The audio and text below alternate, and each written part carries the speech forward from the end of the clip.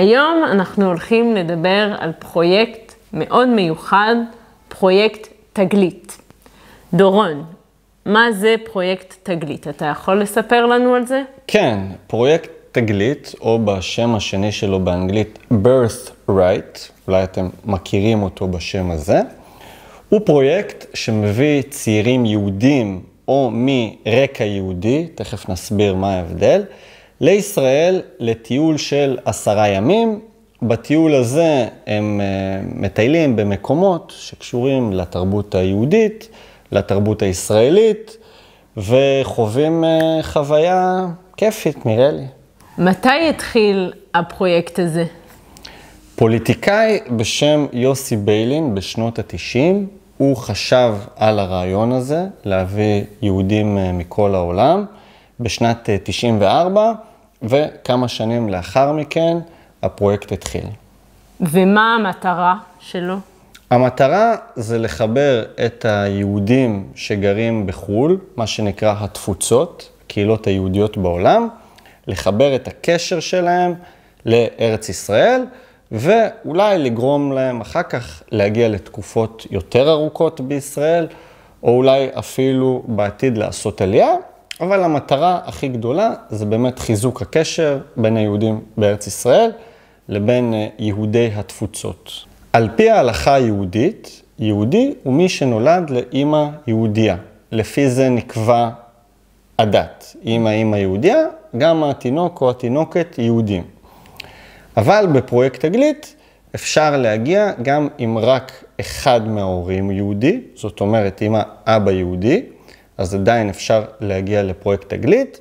ולגבי מדינות ברית המועצות לשעבר, מה שהיה רוסיה הגדולה, אפשר להגיע גם אם רק אחד מהסבים או הסבתות היו יהודים. זאת אומרת, אם יש לך סבא יהודי או סבתא יהודייה, אפשר להגיע לפרויקט תגלית, שזה בעצם אותו דבר כמו חוק השבות, שאולי נדבר עליו בסרטון אחר. וזה עולה כסף למשתתפים? יוסי ביילין, מי שהגה את הפרויקט, שאפשר להגיד שהוא האבא של הפרויקט, אמר שכל יהודי שנולד צריך להיוולד עם כרטיס טיסה לישראל. או במילים אחרות, זה חינם, mm-hmm. זה לא עולה כסף.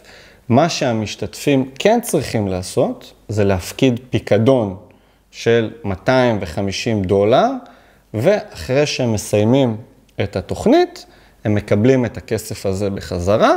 בשנים האחרונות יש להם אופציה גם לתרום את הכסף הזה, לא לקחת את הפיקדון, וככה להגדיל את הקופה של פרויקט תגלית ולאפשר לעוד צעירים להשתתף mm-hmm. בפרויקט בעתיד.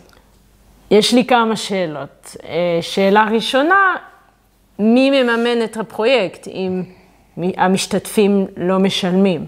אוקיי, okay. אז לגבי זה, מי שמממן את הפרויקט, זה מגיע מכמה מקורות. דבר ראשון, הממשלה בישראל, mm-hmm. וגופים שקשורים לממשלה בישראל, כמו הסוכנות היהודית.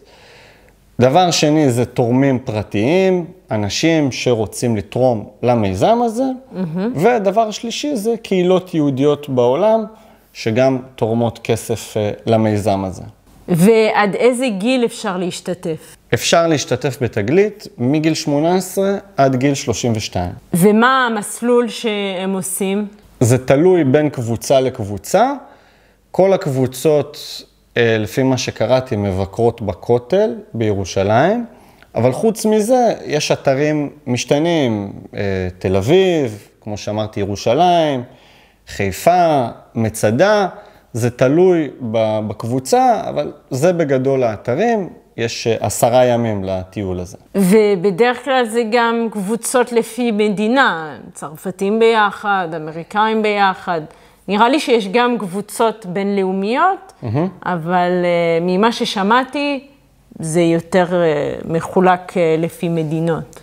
נכון, החלוקה הראשית היא לפי מדינות ושפה, בעצם. זה הדבר הכי חשוב, אבל לא, היום יש גם קבוצות של דברים אחרים, כמו למשל בעלי מוגבלויות, או קבוצה של להט"בים שבאים ביחד, אז יש כל מיני אופציות, ודבר מעניין לגבי תגלית, זה שלקבוצות שמגיעות מחו"ל, מתלווים ישראלים, mm. בערך באותו גיל, שזה או חיילים או סטודנטים שמדברים את אותה שפה mm-hmm. של המדינה שהגיעו ממנה. לדוגמה, אם יש לנו קבוצה שמגיעה מברזיל, אז יהיו ישראלים שמדברים פורטוגזית. Mm-hmm. ואתה ליווית קבוצה, נכון? נכון, כשהייתי חייל, אה, זה ללא ספק השבוע הכי כיפי שהיה לי בצבא, בגלל שאני מדבר אנגלית כמו רוב הישראלים. אני ליוויתי קבוצה של אמריקאים, אה, וזה בהחלט היה השבוע הכי כיף שהיה לי בצה"ל. כן, סיפרת לי שחיילים רוצים אה, לצאת לתגלית.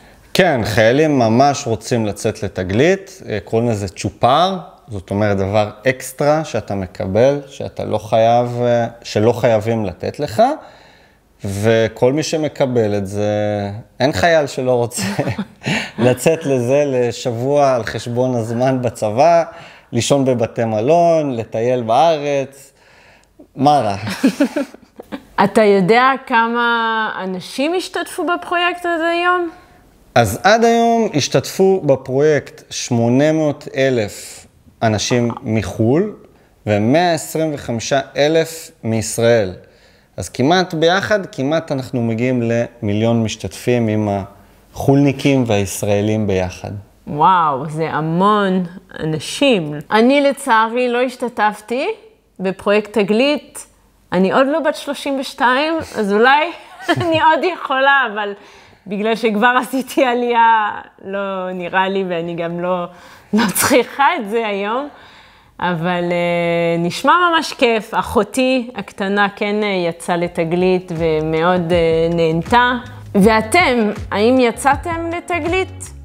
תספחו לנו בתגובות, נשמח uh, לדעת. וכמו תמיד, אנחנו מזכירים לכם שתמצאו ב-Piece of Hebrew Club, באתר שלנו, כל מיני חומרים כדי לעבוד עם הסרטון הזה. אה, תמצאו את הסרטון הזה בלי כתוביות. זה משהו שאנחנו לא אומרים בדרך כלל, אבל... בלי כתוביות ובלי פרסומות. נכון, אז אם אתם רוצים uh, לאתגר את עצמכם קצת, תמצאו את הסרטון בלי כתוביות, ועוד כל מיני דברים, כמו התמליל של הסרטון, רשימת אוצר מילים, גם uh, מפגשי זום פעם בחודש, שזה ממש ממש כיף. ואם אתם רוצים לאתגר את עצמכם וללמוד עוד על הנושא, יש לנו גם פודקאסט באתר שלנו, מוזמנים להקשיב לפודקאסט ולעשות את התרגילים שקשורים לפודקאסט עצמו. נדחה בסרטון הבא. ביי. ביי.